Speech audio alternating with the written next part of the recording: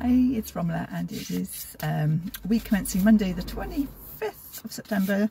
So do some card pulls. I'm using the Secret Language of Colour um, today. It's a beautiful deck. I used it in the Women's Circle yesterday.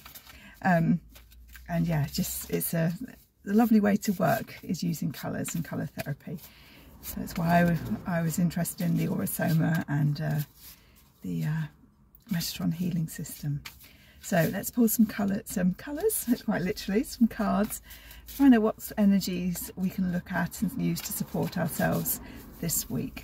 So the first colour we have out is lilac, isn't that beautiful? So this says strengthen your faith. So support your energy, sorry, tractor going past. um, yeah, support your energy.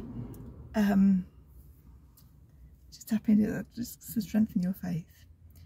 It's completely thrown me, that tractor. It's completely thrown me. Um, believe in yourself. I would say the lilac to me is sort of the third eye.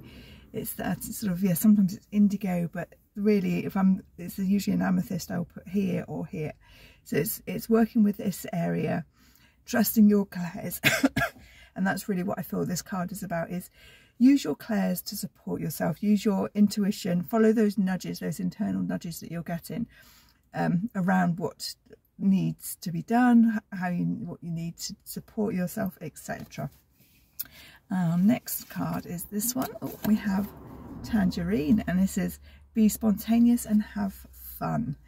So I'm feeling because it is fruit there's definitely an element that eating well this week is going to support you on a physical level. So eating um, more fruit, more veg, looking at what you're drinking, looking at what you're eating, um, and rest as well is really going to support your energy this week.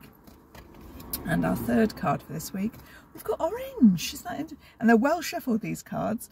Um, in fact, they're not even uh, orange. We have nurture yourself. So yeah, this the, the messages for this week around your energies are very much around tapping into your intuition. What do i need to eat to drink? Is a coffee a good idea? Should i have this biscuit? Do i want a banana? Do i want an apple? Do i want organic carrots or do i want broccoli?